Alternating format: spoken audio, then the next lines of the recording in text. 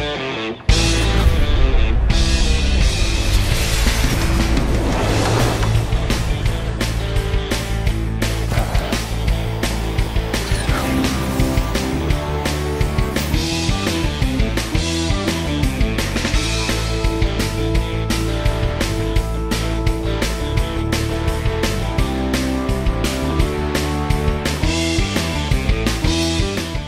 need one inch, there's always a way to find two. I can get up and start first thing in the morning at 8 o'clock, do it all the way till 11 and 10 o'clock at night, and be excited to start again the very next day.